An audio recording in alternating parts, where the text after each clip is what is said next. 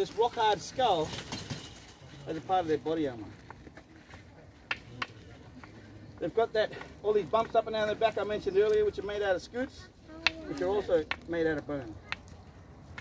And so these guys here are set up to attack anything without being concerned about being